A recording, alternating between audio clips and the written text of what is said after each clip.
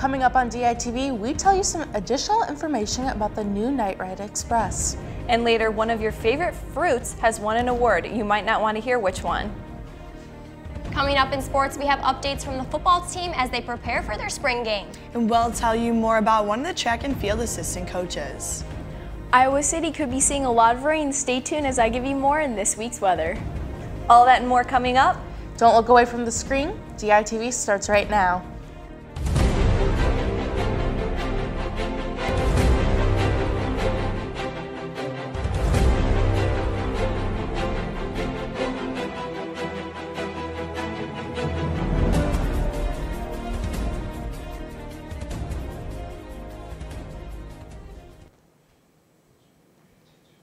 Good morning and thank you for tuning in. I'm Sydney Zatz. And I'm Lauren Vorel. We have breaking news this morning from Washington. House Speaker Paul Ryan has announced that he is not seeking re-election. He is expected to address his decision in the GOP conference meeting later this morning. Ryan has held his position as Speaker of the House since 2015. Stay tuned to DITV for any developments on this story. We begin with news on a local forum that consisted of the Iowa City Police, the FBI, and the NAACP. The gathering allowed officials and the public to discuss recent events in the Iowa City area. It covered, it covered hate-related incidents, including the most recent graffiti found on the University of Iowa's Unity mural. It is believed the graffiti were Nazi symbols and have since been covered with white paint. Everyone in attendance shared a common goal in putting a stop to these incidents. Audience members were also educated on the Iowa hate crime laws. Johnson County Attorney Jeanette Lyness outlined the four crimes that by state law fall under hate crime, assault, arson, criminal mischief, and trespassing. This definition is controversial as it bl blurs lines between racial crimes and vandalism. City High School in Iowa City is under a no shooting threat. This comes after a 17-year-old in New Mexico threatened threatened, excuse me, a school with the initials CHS. Clovis Police in New Mexico identified the school as Clovis High School. Many schools with the initials CHS across the country have been anxious, but the suspect has admitted to the threat and is now in police custody. A few weeks ago, I reported on the new Night Ride Express service available to University of Iowa students, but there's been an update on the service and one aspect involves a poker chip. DITV reporter, news reporter Brian Cullen tells us more. Night Ride has been serving the UI community since 2007. It has been used by thousands of students getting to and from campus. Recently, the service has gone through some changes. One of these changes is an upgrade called Night Ride Express. Night Ride Express service is that Express is a direct ride from your pickup location to your drop off location. Currently, we have uh, two dedicated pickup trucks for Night Ride Express. If anyone on campus sees a full time DPS employee or a student employee, they can approach them and ask for one of our Night Ride Express poker chips, which can be redeemed with Night Ride to get a free express ride. It's only been out for a bit, but in my opinion, I do believe that Night Ride Express is a better option than Night Ride because it's only a dollar compared to something like Uber or Lyft, which in Iowa City is pretty expensive. The seats look more comfortable than the bus, and the smaller cab gives for a more, more private experience. Reporting from the University of Iowa Department of Public Safety, I'm Brian Cullen, DITV News. Thanks, Brian. Iowa City is not concerned about losing funds over a recently signed bill. Iowa Governor Kim Reynolds has signed a bill aiming to ensure loss of financial funding for Iowa sanctuary cities. These cities are defined as places who don't follow national immigration policies. The bill won't take effect until July 1st. Be sure to check out the Daily Iowan newspaper or the online website for Sarah Watson's full story on this topic. Facebook CEO Mark Zuckerberg testified to Congress on Tuesday about his company's involvement with the Cambridge Analytica. This comes a month after Facebook was linked to the, to the company and their involvement with the Trump presidential campaign. Zuckerberg apologized to Congress. He also said that Facebook is rethinking its responsibility when handling private information of its users. Zuckerberg is set to testify again on Wednesday. The UI Mobile Museum is back on campus. Today from 10 in the morning until 4 in the afternoon, the Museum on Wheels will be parked on the plaza in between the main library and the Adler Journalism Building. A few of the exhibits include seeing how art can help save endangered species and learning about ways to conserve Iowa's wilderness through raptors. The museum is free and open to the public and is also equipped with a wheelchair lift. Lauren yesterday, I had frost on my windshield. It was freezing. This morning, total opposite. I was able to put on flip flops. It is supposed to be 60 later in the day. I know, Sydney, the sun has finally made a reappearance. Hopefully, it sticks around for the rest of the week. Let's toss it over to Sam with more information. Yeah, that's right. I can't believe this weather has changed so drastically. We're finally seeing some spring weather today. We're expecting to reach a high of 60 to 4 degrees, a drastic increase in temperature from these past couple days. As we move later into the part of the evening, we'll reach a low of 46 degrees with a 30% chance of rain. Looking at the rest of the week, we'll still see some warm temperatures as Thursday we reach a high of 69 with some cloudy skies and a low of 56 with a 40% chance of rain. Then moving on to Friday, our warmest temperature of the week at 72 degrees, a major change from what we've been experiencing here recently. As night approaches, we'll reach a low of 47 with an 80% chance of rain. On to the weekend, Saturday, temperatures will be around in the 50s with a 90% chance of persist oh, excuse me, precipitation as we will get some thunderstorms and then a possible snow shower in the evening.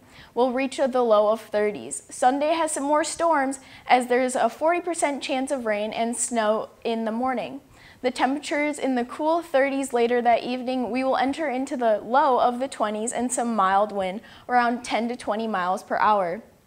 Entering into next week, we will see a mixture of clouds and some sunshine with a high in the 40s and again those strong winds of 15 to 25 miles per hour later that day. Clouds will still be around with a low in the 30s trying to so go ahead and try to stay dry this week guys. Have a wonderful Wednesday and back to you at the desk. Thanks Sam. The final public meeting will take place for downtown Iowa City renovation. Discussing the Ped Mall improvements plan, it will focus on construction details and what to expect in the coming weeks. This, the, the meeting, excuse me, is tomorrow at 4.30 in Meeting Room A of the Public Library. Constru construction will begin this year on the Dubuque Street Walkway, which includes Black Hawk Mini Park. In 2019, construction of the east-west access of the Ped Mall will take place. A few weeks ago, we told you about how Iowa City is remembering Calder Willis and Lauren is truly amazing what they are doing. Yeah, you're right, Sydney. And yesterday would have been this, his 13th birthday. Iowa City has done something amazing to remember him. DITV News reporter Gustavo Meyer has more. That's right, guys. Calder Willis's family is remembering him by helping the Iowa City community. The Willis family has donated $16,000 to the development of the River Crossings Park in Iowa City. The money was originally intended as a college savings for Calder to attend the University of Iowa. According to his mother, Calder talked about a degree involving pharmaceuticals, most likely because he had become knowledgeable on the pills he took to treat his stage 4 lymphoma. The family is also looking to sponsor a project or structure at City High School where Calder would have attended. That's all I have for you guys in the segment studio. Back to you at the desk. Sydney, since the weather is getting warmer, football is back. I'm super excited. Me too. And to tell us more in the sports studio, we have Delaney and Natalie. Guys, what can you tell us? It's hard to believe, but the spring game is only a week and a half away, and I'm certainly excited to get back into Kinnick. Natalie, I definitely agree with you on that one, but I'm guessing the players are a little more excited than us. So here's what they had to say on how the spring season has been shaping up. Spring ball is time for us to improve our fundamentals uh, me individually, been working on trying to get better at blocking, route running, pass catching, kind of all the above. Uh, Coach Brian's been a, doing a great job of breaking it down step by step and uh, really coaching it up. I think just the goal um, is to become a starter here. Um, so I've been in the backup role for a couple years now. So kind of the goal is to just transition um, and hopefully be a starter. But I mean, I can't control that. All I can do is control my effort and um, my attitude and leadership. We always want to improve in everything we do, even in the pass game. Everything comes down to us making sure the quarterback can hand the ball off or throw it. So we take a lot of pride in what we do and what we're going to accomplish. I feel like it's, it's really exciting just getting back into Kinnick. You know, I haven't touched the field since uh, what game was that? I, I don't even know what game was it. It was just it's, it's been a long time. That's how I know. Um, it's it's really exciting getting back out there in Kinnick. Uh, I just I just want to create some more great memories out there. Yeah, they're definitely more excited to get back out on the field than we are. And yesterday, we also heard from the quarterbacks coach Ken O'Keefe and wide receivers coach Kelton Copeland about how their units are looking for this spring season.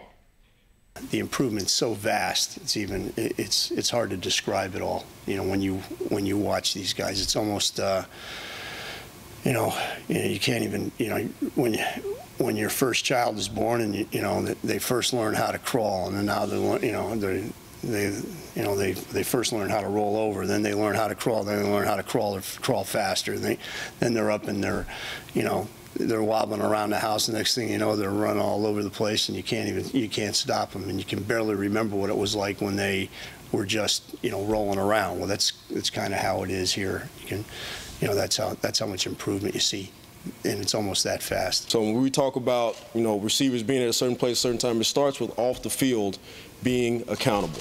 And that's what we've been focusing on for the past year, this past fall, and now this spring, just being accountable, you know, and, and hiring our expectations of where we need to be when we're supposed to be there. Just being more accountable, starting off the field, and now obviously we're in spring ball and into our fourth week. Now it translates on the field. We'll finally get to see the team back in action next Friday night under the Kinnick Lights. And Coach Clive Roberts leads the Hawkeye women's track and field team as their associate head coach. He has been very successful in almost every year that he's been with the Hawkeyes, and DITV sports reporter Casey Lindecrest has more. First and foremost, you know, I'm a God-fearing man, and, and that, that's what kind of drives me with everything. And I think I'm blessed to be able to do the things that I'm, I'm able to do, you know, and knowledge that I've been able to attain. Um, but truly, it's just, you know, God first for me. Coach Roberts has seen consistent success in his eight years at Iowa, which would put a smile on any coach's face. But Coach Roberts finds more joy in seeing his athletes become accomplished off the track. I've always said that, you know, parents will send their student athletes here at the University of Iowa, you know, and I think the coach's job are, are, to really complete that person, you know, for adulthood. But seeing them graduate is, I get a lot of joy out of that. Competitions are certainly important, but Coach Roberts sees the value in bonding with the team outside of meets and practices too. Outside of practice, we um, like you know meet for coffee sometimes, just talk about like how the day is going or you know other things that aren't really track related. Usually before a really big meet, we'll have uh, Saturday night dinners at his house, and we'll just all like play games and watch movies and stuff like that. At the Big Ten Indoor Championships in February, Coach Roberts helped lead three more Hawkeyes to Big Ten titles. While individual athleticism plays a role in winning events, Robert's coaching strategy is certainly a boon to the athletes. Every athlete is different, you know, so we try to teach every athlete, you know, we, we try to look at every athlete from a different perspective and things of that sort. But, you know, so um, they may need different things at different times. What can we do for each individual person rather than, you know, just a steady set program where everybody's like on the same page, we're like all individuals, so we can't really do the same thing for everyone. Reporting from the University of Iowa Recreation Building, this is Casey Lindekrantz, DITV Sports. That's all we have for you guys in the sports studio. Back to you, Sydney and, Sydney and Lauren. Thanks, Delaney. For DITV News, I'm Sydney Zatz. And I'm Lauren Vorel. Have a great day.